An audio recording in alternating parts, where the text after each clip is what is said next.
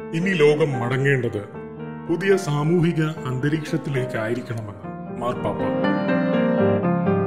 Covid nineteen എന്ന കുഞ്ഞൻ വൈറസിനുള്ള വാക്സിനൊപ്പം സാമൂഹിക അനീതി എന്ന വലിയ വൈറസിനുള്ള പരിഹാരം കൂടി കണ്ടുപിടിക്കണമെന്ന് ഫ്രാൻസിസ് മാർപ്പാപ്പ.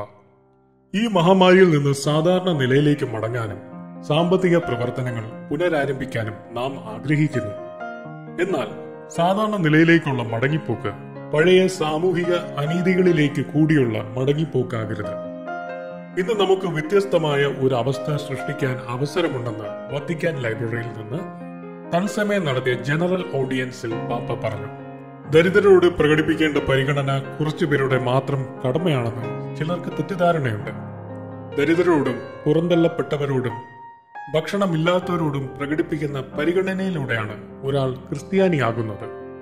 ദരിദ്രർക്ക് നൽകുന്ന പരിഗണനയാണ് ക്രൈസ്തവ ജീവിതത്തിന്റെ ആധികാരികതയുടെ പ്രധാന മാനദണ്ഡം.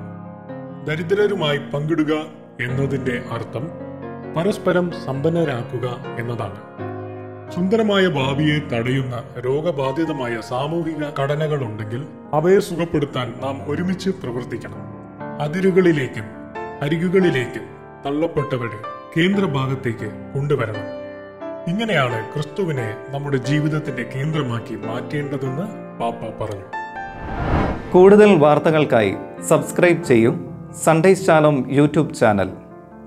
Instant അപ്ഡേറ്റ്സിനായി ബെല്ലൈക്കൺ അമർത്തൂ. നിങ്ങളുടെ നിർദ്ദേശങ്ങളും അഭിപ്രായങ്ങളും എഴുതി അറിയിക്കൂ. Email I D editorial Sunday at Gmail dot com